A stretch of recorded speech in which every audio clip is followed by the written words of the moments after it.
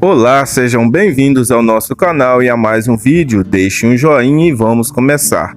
E se você é novo por aqui, te convido a inscrever-se e ativar o sino de notificações para receber novos vídeos. Comente, deixe sua sugestão para vídeo, compartilhe se você puder.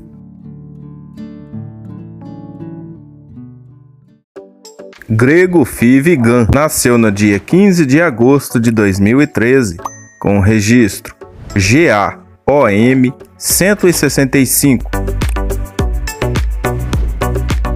Pai, Radar dos Poções, registro A 7368.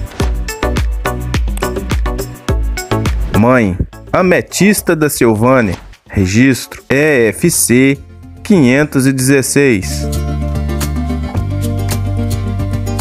Grego é de criação do Geraldo Antônio Marques, da Fazenda Bom Retiro, de São Sebastião do Rio Verde, Minas Gerais, e de propriedade do Cristiano Oliveira Canha, da Fazenda Menina Paula, de São José do Barreiro, São Paulo.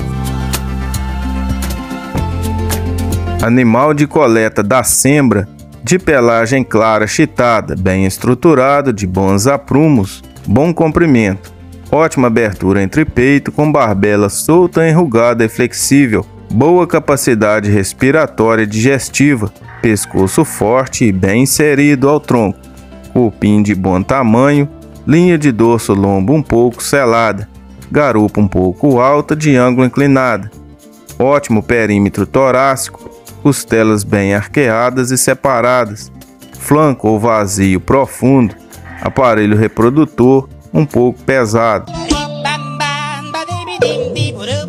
Grego é uma opção a mais na produção de girolando, de pelagem moura, rústica e de boa produção leiteira.